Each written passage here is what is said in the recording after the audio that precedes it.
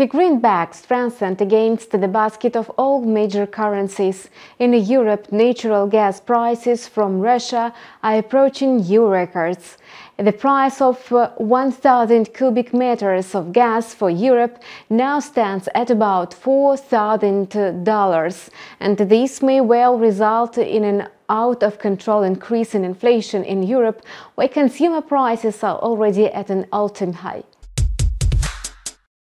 The Monetary Policy meeting of the Governing Council of the European Central Bank is scheduled for Thursday.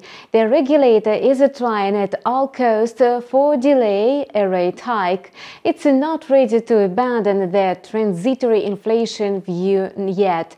Given the tense geopolitical situation in Eastern Europe, the issue of tightening now seems completely impossible. The region should prepare for the dire consequences of uh, yet another round of inflationary risks, supply disruptions, limited demand, and a falling industrial output.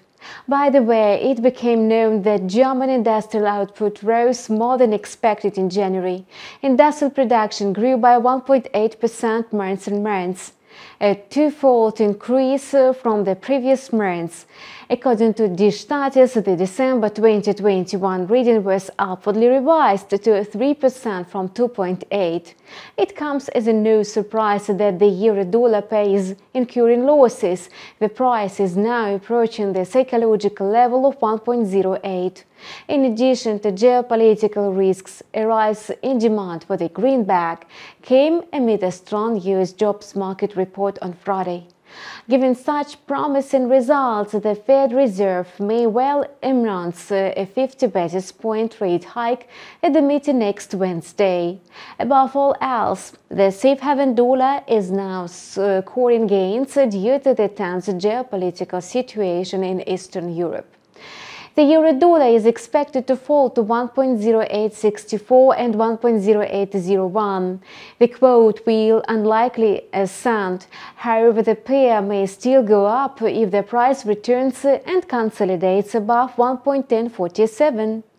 The British pound had been holding steady for the several sessions in a row, but then plunged under the pressure from a stronger US dollar.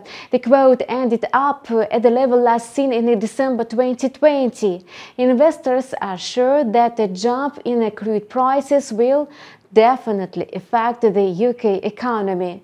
At the moment, traders are wondering how the escalating conflict between Russia and Ukraine will influence the decision of the Bank of England to raise the key rate at uh, its uh, next meeting in late March.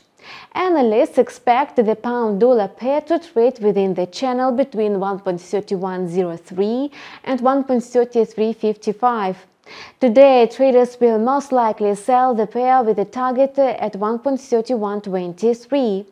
Those bulls that want to take the risk may enter the market only when the price rises above the level of 1.3355. And that's all for now. We continue to learn developments on financial markets.